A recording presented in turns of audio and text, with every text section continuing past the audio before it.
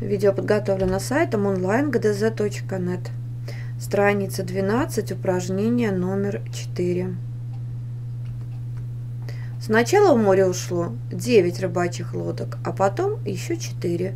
Сколько всего лодок ушло в море?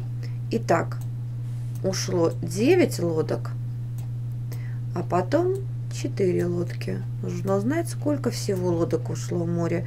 Чтобы узнать, сколько всего лодок ушло в море, нужно к 9 прибавить 14.